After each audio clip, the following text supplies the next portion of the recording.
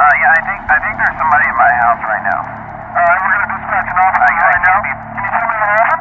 What happened was I was hearing some strange noises coming from my basement. Okay. Right? I decided to go down there and see what it was, and and I think I saw um someone standing in the corner over there. Okay, well.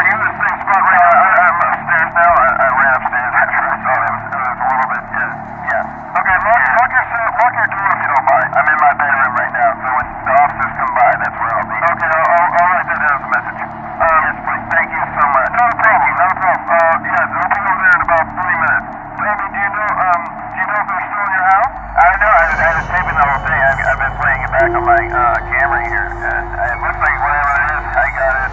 I got it on tape, so I'll show the officer.